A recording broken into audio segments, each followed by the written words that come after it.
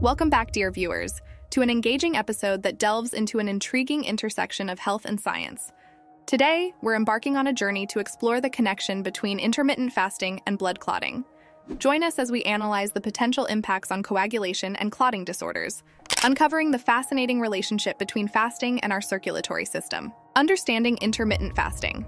Intermittent fasting, a popular eating pattern, has garnered attention for its potential health benefits. It involves cycles of eating and fasting, ranging from hours to days.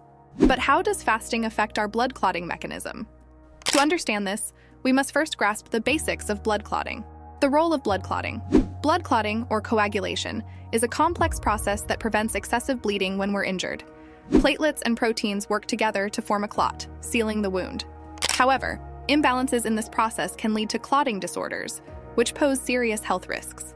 Intermittent fasting and clotting research suggests that intermittent fasting might influence blood clotting factors. Fasting periods can lead to reduced levels of certain proteins associated with clot formation.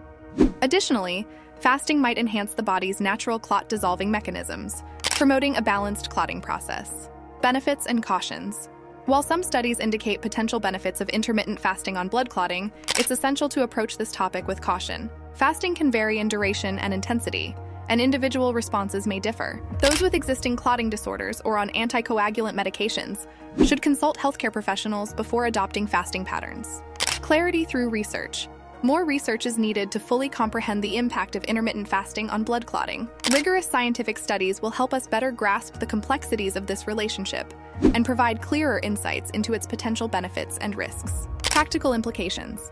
As we await further research, individuals should approach intermittent fasting with mindfulness. Balanced diets, staying hydrated, and regular physical activity remain crucial components of a healthy lifestyle, impacting blood clotting and overall well being.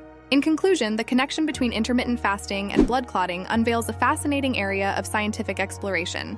While preliminary findings suggest potential benefits, it's crucial to prioritize informed decision making. As research progresses, we look forward to gaining a deeper understanding of how intermittent fasting can contribute to our circulatory health. Thank you for joining us on this enlightening journey. Stay tuned for more thought provoking content centered around intermittent fasting and its impact on various aspects of health. Until next time, stay curious, stay healthy, and keep exploring the exciting world of wellness.